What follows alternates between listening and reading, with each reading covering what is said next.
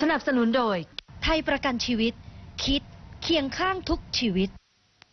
สวัสดีครับ พบกับนาทีข่าวนาว 26 อาคมเติมพิทยาภัยศิษย์รัฐมนตรีว่าการกระทรวงคมนาคม เปิดเผยว่าสายการบินนกแอร์ได้แจ้งเข้ามาเพิ่มเติมว่า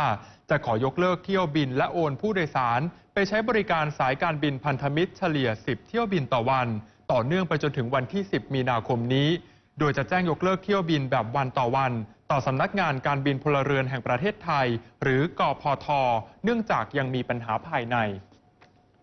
ประธานาธิบดีบารักโอบามาของสหรัฐลงนามกฎหมายด้านศุลกากร ที่ได้รับการแก้ไขใหม่ โดยเพิ่มมาตรการห้ามนำเข้าสินค้าอาหารทะเลจากเอเชียตะวันออกเฉียงใต้ ที่ผลิตโดยแรงงานทาสสินค้าจากทองคำที่บังคับใช้แรงงานเด็กในแอฟริกา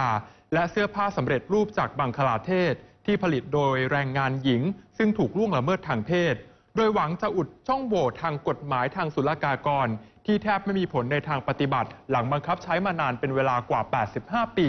ติดตามข่าวสารบันเทิงและวาไรตี้ได้ทางช่องนาว 26 ชีวิตดีได้ไม่ต้องรอ